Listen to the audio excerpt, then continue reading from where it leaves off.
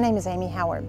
Antique zinc is all over Pinterest and magazines. You'll see it used in so many ways on kitchen countertops, backsplashes, on top of your furniture. Today I'm going to show you how easy it is to be able to recreate that same finish on simple sheet metal. I'll never forget the first time I saw real antique zinc was when I went to the Paris flea market. First thing I wanted to do was to be able to go home and recreate it myself. Antique Parisian zinc has so many great applications. It's great for kitchen countertops. It's great to be able to use on an existing piece that you want to make a tabletop, maybe for a family harvest table in your kitchen room. What you need to start with first is 22 gauge sheet metal. And you're thinking, where am I going to go get sheet metal? My suggestion would be to go to your local um, sheet metal shop and, and tell him what it is that you're wanting to be able to use it for. Let's say, for instance, we're rescuing a 42 inch square cocktail table. We're going to paint the base of it with our one step, and on the top, it's going to be about an inch and a half thick. So I'm going to tell him I want a 22 gauge sheet metal and I want a rolled edge on it because I'm going to use it as a cap. Much like you would your tooth, a cap goes over it and protects it. So I'm going to test it out. Here's a piece of 22 gauge sheet metal. The first thing I'm gonna do is I'm gonna clean it. You're gonna notice that there's kind of a greasy residue to it. So I'm gonna take my degreaser and I'm gonna spray it on. And I'm gonna take a lint-free rag, this is very important, and I'm just going with a little elbow grease. I'm gonna make sure that I'm getting all of the grease off of it. Now I'm gonna come back with just a little bit of tap water I'm gonna put it on top of it because I wanna make sure that there's no surfactants or anything left over from my degreaser. So I'm gonna take my lint-free rag again and I'm just gonna dry it off. Now I'm actually ready to put the zinc product on. I wanna shake it up very well. I'm gonna pour it into a styrofoam bowl, a Tupperware container, um, or even a glass bowl. So it's nice to be able to designate certain Tupperware containers, styrofoam bowls to be able to use for your different craft projects.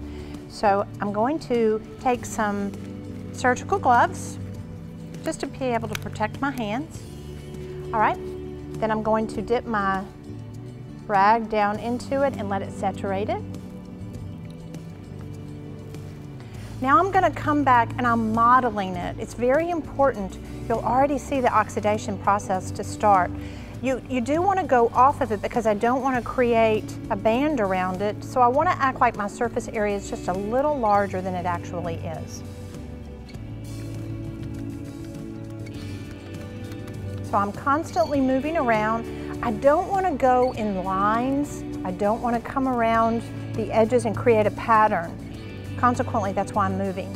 So I'm, my first pass with this, I'm going over the entire piece once I've got the entire surface covered, I'm going to come back and I'm going to use a little bit of pressure and I'm going to start going in circles because see how it started to reticulate? It's kind of like oil and water and it's fighting. So we want to make sure that it all starts to go evenly. So see here how it's starting to say, okay,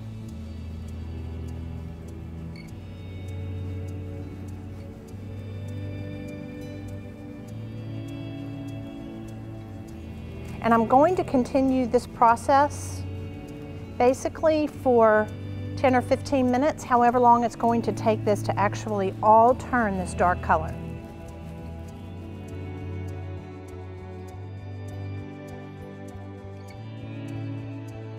You'll notice I am using a little bit of pressure because I want to make sure that all of that is going to be accepted. I don't want those little bright holidays of sheet metal showing through.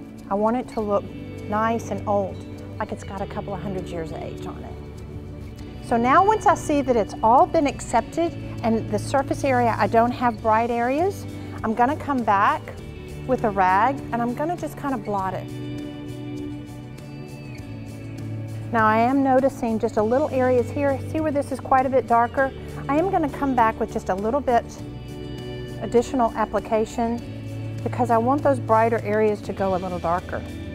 I don't have to come back over the areas that are already dark. I'm just going to add it. And you see how I'm still working in a mottling hit drag motion. Nice. Now I'm starting to see it turn a little darker. That's perfect. That's what I was looking for. Now I'm gonna come back and I'm gonna blot it again and I'm gonna wait for about 20 or 30 minutes to allow it to be able to air dry.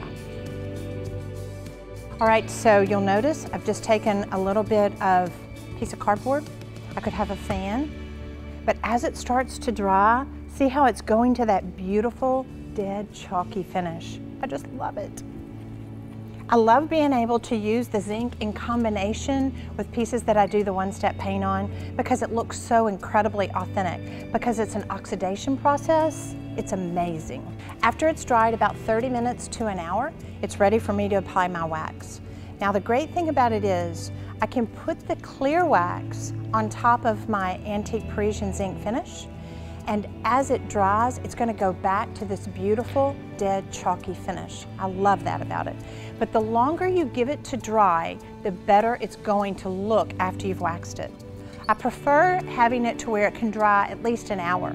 If you need to be able to leave the project and come back to it tomorrow, that is absolutely all right. So I'm gonna take my clear wax, make sure it's a generous amount, and I can put it on in this direction or my hog hair brush.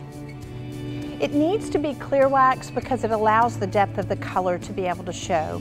Our beauty and our texture is already here in this zinc, so we're just wanting to protect it if we're gonna be using it on a countertop. And a lot of people will say, well, should I, um, can I put food directly on top of it? You wanna use a cutting board. You wanna be able to use some type of protection. Zinc will scratch, but to me, that just adds to the patina because they're so utilitarian, they just look better and better with age. So after I've allowed my wax to dry for about an hour, I've buffed it with my lint rag and I see the beautiful patina to it. That it, I love the depth of just kind of that beautiful chalky dead finish with just a little bit of greening. Remember, no two of these will be alike. This is a process that's taking place as you're doing it. So enjoy the fact that it's a one of a kind. It's something that you've done and you can enjoy the bragging rights.